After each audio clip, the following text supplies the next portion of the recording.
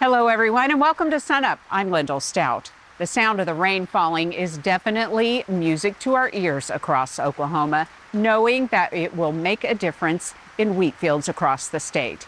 Gary McManus and Wes Lee will tell us how much of an impact the rain is having a little bit later in the Mesonet report. But first, we're talking about vitamin A deficiency in cattle with Dr. Dave Lalman. The rain is going to help a lot because it's going to green up the forage and, you know, obviously we hope we grow a substantial amount of, of forage for grazing. Uh, and green forage supplies carotene, which is the precursor to vitamin A. You know, we've, we've been in a drought in western part of Oklahoma really since about September of 2021. Sure, we had some periods of rainfall last spring, a year ago, but then it turned off dry immediately. And anytime forage gets mature and a drought comes along, the carotene concentration in forage declines dramatically.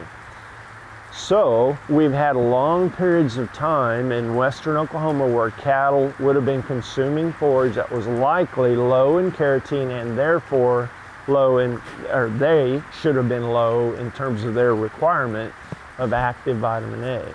Tell us about the case study that you and the team have done the past few weeks on OSU's herds. Yeah, so some of the veterinarians were telling us that uh, you know they were seeing they were testing cattle for vitamin A in the serum, and they were finding cows a lot of cattle that were deficient.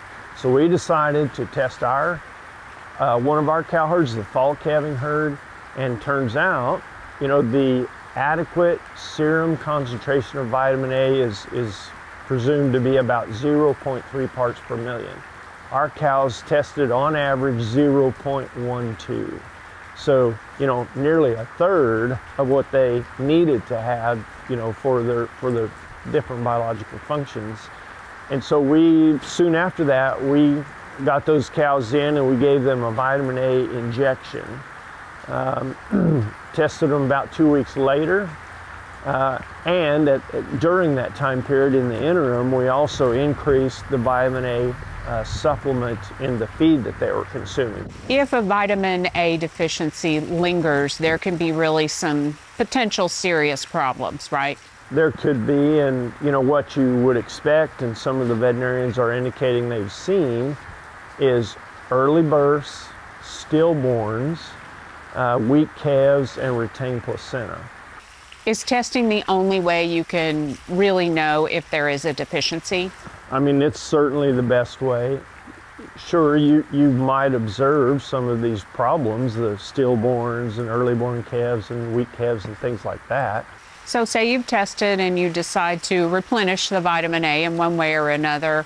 How, how quickly does the, the cow start to turn around and see the benefits? We saw it relatively quickly in this herd. You know, we went from 0.12 to 0.29 in quite a few cows that we tested on average uh, in, in a period of about three weeks. But Lyndall, to, to make a more rapid recovery, we used an injectable product as well as increase the amount of vitamin A in their feed supplement. Uh, we injected, uh, it was a 10 milliliter uh, dose and we injected about 1 million international units of vitamin A. That sounds like a lot, but a, cow, a lactating cow requires about 50,000 international units of vitamin A per day. And the other way, of course, is when Mother Nature cooperates. And as we see, it's, it's raining this week, which is certainly welcome. Talk about how that will kind of help obviously green up the pastures and, and get things going again. Yeah, absolutely. Hopefully this will this will solve the problem uh, because you know the lush green forage is going to have loads of carotene, and those cows have the capability to convert that carotene to active vitamin A. So it should improve things a lot.